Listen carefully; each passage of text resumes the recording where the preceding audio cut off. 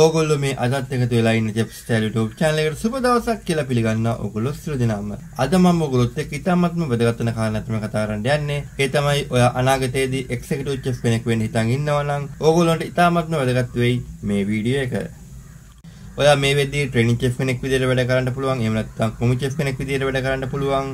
එහෙම නැත්නම් CDP DCT වගේ මොන ක්ෂේත්‍රයක වැඩ කරුවත් මොන පොසිෂන් එකක වැඩ කරුවත් මම මේ කතා කරන පියවරවල් පහ ඔයා ප්‍රැක්ටිස් කරුවොත් ඔයාට ඉක්මනින් එක්සිකියුටිව් චෙෆ් කෙනෙක් දක්වා යෑමට හැකියාවක් තියෙනවා. ඒ නිසා ඔයා මේ වීඩියෝ එක ඉවරනකම් බලන්න කියලා මම ඕගොල්ලන්ගෙන් රික්වෙස්ට් එකක් කරනවා.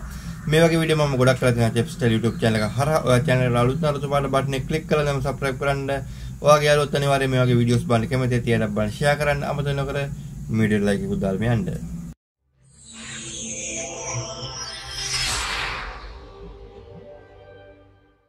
වීඩියෝ පටන් ගත්තම කියන්න කාරණයක් තමයි එක්සිකියුටිව් චෙෆ් කෙනෙක් වෙන්න හැමෝටම බෑ. නමුත් ඔයාට උත්සාහය සහ කැපවීම තියෙනවා නම් එක්සිකියුටිව් චෙෆ් කෙනෙක් වෙන්න බැරි කමකුත් නැහැ. මම කතා කරන පළමුම කාරණා තමයි MT. MT කියන්නේ මැනේජ්මන්ට් ට්‍රේනින්. ඔයා කුමන ක්ෂේත්‍රයක වැඩ කරුවත් ඔයාට අනිවාර්යයෙන්ම මැනේජ්මන්ට් ට්‍රේනින් එකක් අවශ්‍යයි. උදාහරණයක් විදිහට ගත්තොත් ඔයා චෙෆ් කෙනෙක් වෙන්න පුළුවන්, එහෙම නැත්නම් account කෙනෙක් වෙන්න පුළුවන්, නැත්නම් ડોක්ටර් කෙනෙක් වෙන්න පුළුවන්, ඉංජිනේර් කෙනෙක් වෙන්න පුළුවන්. ඔයා කුමන ක්ෂේත්‍රයක වැඩ කරුවත් ඔයා අනිවාර්යයෙන්ම මැනේජ්මන්ට් ට්‍රේනින් එකක් තියෙන්න ඕන.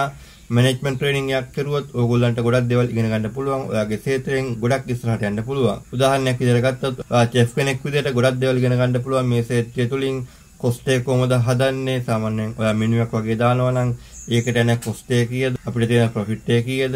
ඒ වගේ ගොඩක් දේවල් ඉගෙන ගන්න පුළුවන්. එතකොට ඔයාට පහසුවෙන්ම එක්සිකියුටිව් චෙෆ් කෙනෙක් වෙන්න පුළුවන්. මොකද එක්සිකියුටිව් චෙෆ් ගේ වගකීම තමයි කොස්ට් එක මැනේජ් කරන එක ඊට පස්සේ අයිටම් වගේ දේවල් අඩුතැන් බලලා ගෙන්න ගන්න එක ඊට පස්සේ සේවකයොත් එක්ක කොහොමද වැඩ කරන්නේ සේවකයොත් එක්ක කොහොමද සුවදශීලීව වැඩ කරන්නේ කියලා ඉගෙන ගන්න එක.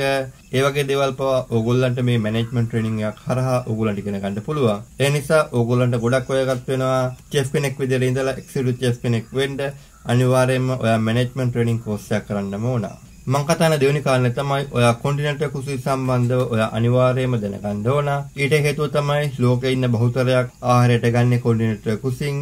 ඒ නිසා අපිට දල අයිඩියා ගන්න පුළුවන් කොන්ටිනෙන්ටල් කුසින් ඉගෙන ගත්තොත් ඔයාට පහසුවෙන්ම එක්සිකියුටිව් චෙෆ් කෙනෙක් වෙන්න පුළුවන් කියලා. ඒකෙන් මම කියන්න බලාපොරොත්තු වෙන්නේ ඔයා ශ්‍රී ලංකන් චෙෆ් කෙනෙක් නම් ඔයා ඉන්දියන් චෙෆ් කෙනෙක් නම් ඔයා චයිනීස් චෙෆ් කෙනෙක් නම් ඔයාට එක්සිකියුටිව් චෙෆ් කෙනෙක් වෙන්න බෑ කියලා. නමුත් ඔයාට උනන්දුව සහ කැපවීම තියෙනවා නම් ඒ නීච් එකෙන් ඔයාලට එක්සිකියුටිව් චෙෆ් කෙනෙක් වෙන්න පුළුවන්. මම මේ කතා කරන්නේ පොදුවේ තමයි කතා කරන්නේ. කොන්ටිනෙන්ටල් කුසින් කියද්දී ඒක පේස්ට්‍රි වෙන්න පුළුවන්, බේකරි වෙන්න පුළුවන්, හොට් කිචන් වෙන්න පුළුවන්, කෝල් කිචන් වෙන්න පුළුවන්. ඔයා මොන ඩිපාර්ට්මන්ට් එකක වැඩ කරුවත් ඕගොල්ලන්ට කොන්ටිනෙන්ටල් අදාළ වෙනවා. ඒ නිසා කුමන ඩිපාර්ට්මන්ට් එකක වැඩ කරුවත් ඕගොල්ලන්ට එක්සිකියුටිව් චෙෆ් කෙනෙක් වෙන්න පුළුවන්. මම කතා කරන තුන්වෙනි කාරණය තමයි ජොබ් චේන්ජ්. ජොබ් චේන්ජ් කියන කාරණේ ලංකාවේ මිනිසුන්ට හුරුම නැති කාරණයක් තමයි මේ ජොබ් චේන්ජ් කියන කාරණය. ඒක චෙෆ් කෙනෙක් වෙන්න පුළුවන්. එහෙම නැත්නම් ડોක්ටර් කෙනෙක් වෙන්න පුළුවන්. ඉංජිනේර කෙනෙක් වෙන්න පුළුවන්. account කෙනෙක් වෙන්න පුළුවන්. ඔයා මොනම ක්ෂේත්‍රයක රැකියාව කරුවත් මේ ජොබ් චේන්ජ් කියන කාරණය ලංකාවේ මිනිසුන්ට හුරුම නැහැ. මොකද අපේ මිනිස්සු කැමති එකම තැන පල්ලෙවි ඉන්න තමයි අපේ මිනිස්සු කැමති. උදාහරණයක් විදිහට ගත්තොත් මාත් එක්ක ආශ්‍රය කරන සමහර චෙෆ්ලා එකම හොටෙල් එකේ වැඩ කරලා තියෙනවා මේ වෙද්දි අවුරුදු 2යි 3යි 2යි 3යි නම් එහෙම ලොකු ප්‍රශ්නයක් නැහැ 3යි 4යි 5යි 6යි 10යි 12යි සමහර පරණ චෙෆ්ලා අවුරුදු 10යි 15යි සර්විස් එක. නමුත් තාම DCDP එහෙම නැත්නම් CDP පොසිෂන් වල තමයි ඉන්නේ.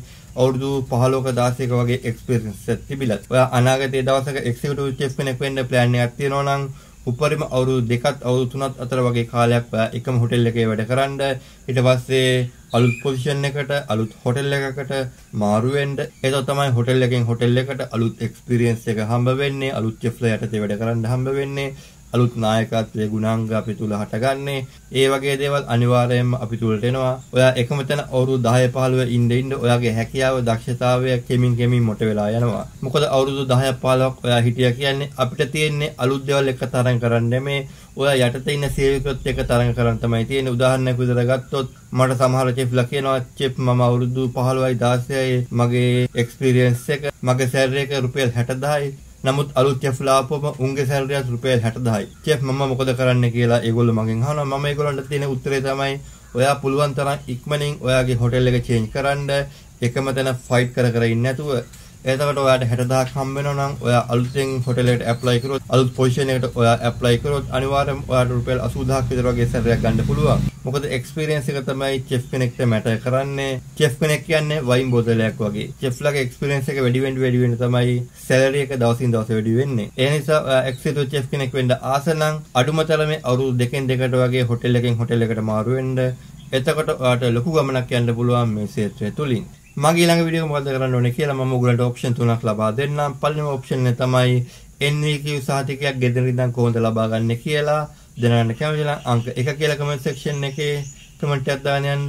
ඊට පස්සේ ඔයා මෙඩිටේරියන් කුසින් සම්බන්ධව දැනගන්න කැමති නම් අංක 2 කියලා කමෙන්ට් සෙක්ෂන් එකේ කමෙන්ට් එකක් දාන්න යන්න.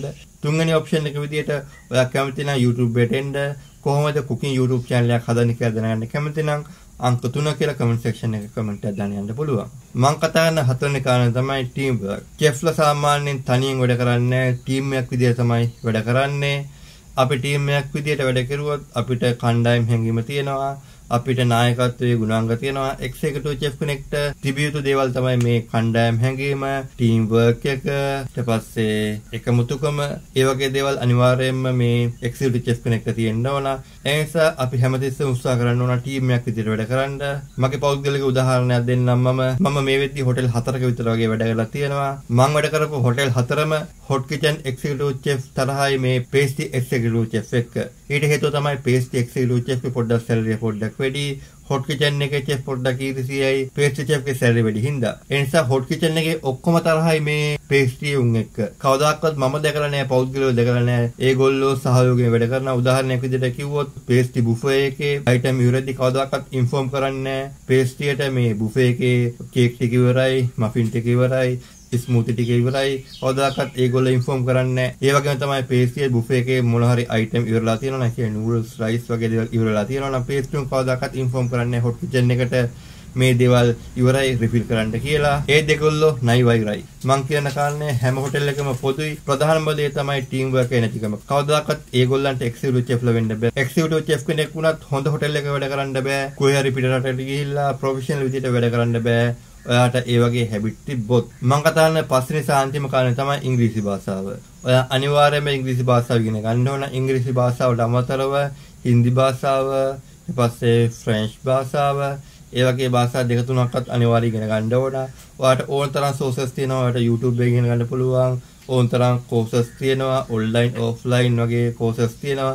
ඔය අනිවාර්යයෙන්ම ඒ භාෂා කීපයක් ඉගෙන ගන්න ඕන. අඩුම තරමේ භාෂා තුනක්වත් ඉගෙන ගන්න ඕන. ඔයා එක්සිකියුටිව් චෙෆ් කෙනෙක් වෙනවා නම් මේ වීඩියෝ එක හරහා මම ඔයගොල්ලොත් එක්ක කතා කරුවා. ඔයා එක්සිකියුටිව් චෙෆ් කෙනෙක් වෙන්න හිතන් ඉන්නවා නම් ඔයගොල්ලෝ අනුගමනය කරන්න ඕන පියවරවල් පහක් මොනවද කියලා මේ වීඩියෝ එක හරහා ඉතාමත්ම සරලව කතා කරුවා. මේ වගේ වීඩියෝස් හොඳයි කියලා හිතනවා නම් පල්ලෙහා තියෙනවා කමෙන්ට් සෙක්ෂන් එකක් කමෙන්ට් සෙක්ෂන් එකේ ඕගොල්ලන්ට කැමති දෙයක් ලියන්න යන්න පුළුවන්. මේ වීඩියෝස් වල මොනවද ඉම්ප්‍රූව් කරන්න ඕනේ කියලා ඒ දේවලුත් ඔය අනිවාර්යයෙන්ම කමෙන්ට් සෙක්ෂන් එකේ කමෙන්ට් එකක් දාන්න යන්න. මේ වගේ අලුත් වීඩියෝ එකකින් හමු වෙනකම් මම ගිලෙන්න. මම චෙෆ් මිලාන්.